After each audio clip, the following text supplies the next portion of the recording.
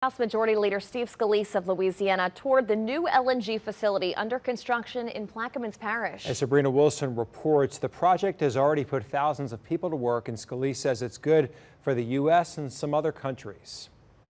On a 600 plus acre site next to LA 23 in Plaquemines Parish sits a mammoth liquefied natural gas export facility. This is a 20 million ton nameplate facility which is uh, how the industry kind of measures the size of these facilities. At full capacity, we'll, we'll have um, uh, significantly more production capacity than that. Uh, and so we'll be around almost one ship of LNG a day will be produced by this facility.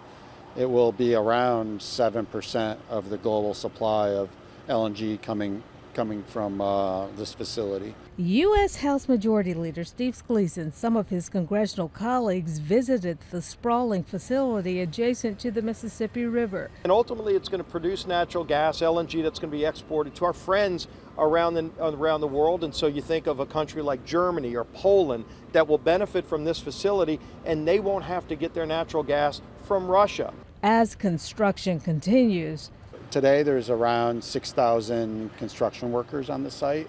500 permanent jobs are expected. Uh, nationally, uh, we're probably over 30,000 people working on the facility right now. We flew over it with the head of the Army Corps of Engineers, and it just, it's one thing to hear about it and read about it, but to see the, the massive scope of this facility, just how big it is, uh, and, and it just, to think that we can still build things like this in America. Economic Development Plaquemines Parish welcomes. Years ago, uh, Plaquemines Parish was solely uh, dependent on uh, oil and gas revenues, and now with Venture Global and, and the infrastructure that they have here, that's where the revenues are going to come in. Personally, that was my big, big, big pet peeve that I think that they should, uh, I thought that they should hire locals. A towering wall surrounds the site. We're very proud of the design. It, it actually has uh, five times the steel of the Eiffel Tower just in the wall.